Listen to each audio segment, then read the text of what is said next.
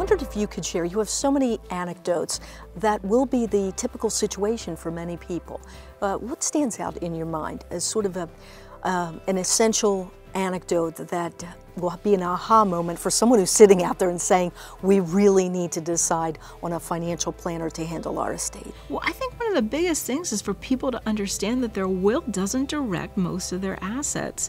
It's actually, you know, in today's world with these large IRAs, life insurance policies, annuities, anything that has a beneficiary designation, your will is not the instrument that's going to direct those monies. It's your beneficiary designation. So it's so important uh, for clients to understand that and to work with advisors who are going to get not only the primary beneficiary, but also the contingent beneficiary, the backup beneficiary if that initial uh, primary beneficiary is not living at the time. And they think their will is going to direct all of their assets, and in reality, it may only direct a very small percentage of their total wealth.